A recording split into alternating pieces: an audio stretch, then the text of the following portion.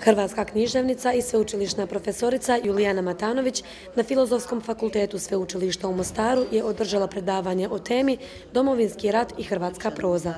Profesorica Matanović je poznata po tome kako uspjeva studentima kroatistike i hrvatske književnosti približiti hrvatske romane i potaknuti ih na čitanje istih. Znate, lako imati naknadnu pamet, lako je 25 godina poslije reći ta i ta knjiga objavljena 92. 93. nema umjetničku vrijednost, ali treba tu knjigu kontekstualizirati kao i s političkom situacijom u vrijeme u kojem je ta knjiga nastala. Dakle, hoću upozoriti na nešto što je jako pisano, jako objavljivano, predložiti nekakvu tipologiju i periodizaciju te ratne književnosti, nagovoriti na studente na razumijevanje te literature, da će to jednog dana poslužiti kao neka građa za nekakav veliki, ajmo reći, povijesni roman. Smatra kako studenti današnjice nemaju vremena za čitanje knjiga, pa im sukladno tome priprema kolegije kako bi im približila suvremenu književnost.